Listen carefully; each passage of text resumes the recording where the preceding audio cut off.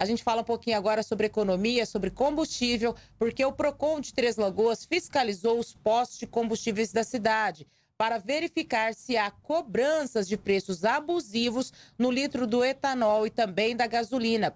Os estabelecimentos têm até esta terça-feira para apresentar as últimas notas fiscais da compra e para que possa ser feita a análise dos valores. A reportagem é da Beatriz Benedetti. O governo federal anunciou o reajuste no valor do litro da gasolina, que deveria ficar 34 centavos mais caro, e também do etanol, que deveria aumentar 2 centavos nos postos de todo o país. E apesar de parecer pouco, esse valor pesa e muito no bolso do consumidor. Por isso, fomos até as ruas de Três Lagoas para saber qual a opinião da população sobre o atual preço do combustível. É, tá alto, né? Ah, já teve mais alto, né? Mas abaixou e tá subindo de novo. Sei que não vão fazer não. Só no, no etanol, né? tá mais barato. Tá um absurdo, né? Meio caro, né? Subindo muito. É, não tá fácil não, né? Tá ficando complicado. Se parar nesse preço que tá, não tá bom, mas se subir mais um pouco aí já, já judia de nós.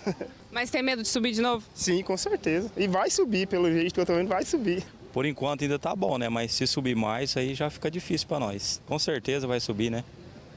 Já não tem mais é, uma tabela dos preços das coisas, já não é mais igual antigamente. A equipe do Programa Municipal de Defesa do Consumidor fiscalizou 24 postos de combustíveis em Três Lagoas para verificar se há cobrança de preço abusível no litro do etanol e da gasolina comercializado nas bombas.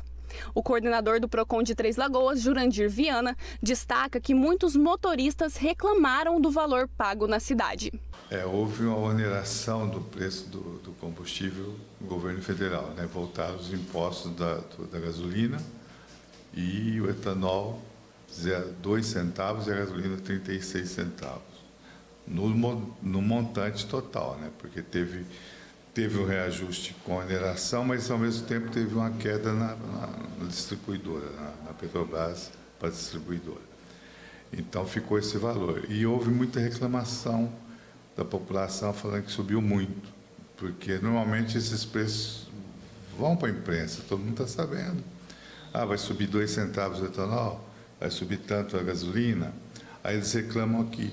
Aí nós temos que fazer a pesquisa, a pesquisa em seguida solicitar as notas, fazer a análise e ver o, que foi, se tem aumento abusivo, se não tem. O PROCON de Três Lagoas solicitou que esses estabelecimentos enviem as três últimas notas fiscais da compra dos combustíveis até terça-feira, para que então possa ser feita a análise dos dados. O coordenador afirma que já é possível ver uma alteração no valor do etanol, mas que só terá uma resposta efetiva após a análise das notas fiscais dos estabelecimentos. A maioria do combustível da gasolina está dentro do padrão. O etanol que subiu um pouco a mais, mas a justificativa é que os produtores das usinas aproveitou o aumento do, da gasolina e já teve o aumento do etanol também. Então, além dos dois centavos do governo, eles estão colocando nove centavos das usinas.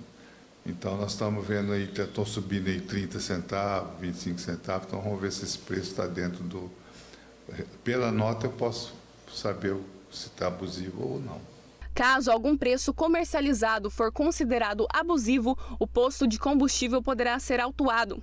Vale ressaltar que, se o consumidor desconfiar de qualquer abuso de preço, é necessário fazer a denúncia no PROCON, que pode ser realizada pelo 151 ou diretamente na sede do PROCON de Três Lagoas, localizada na rua Oreste Prata Tiberi, das 7 horas da manhã às 11 horas da manhã e a partir da 1 hora da tarde até às 5 horas da tarde.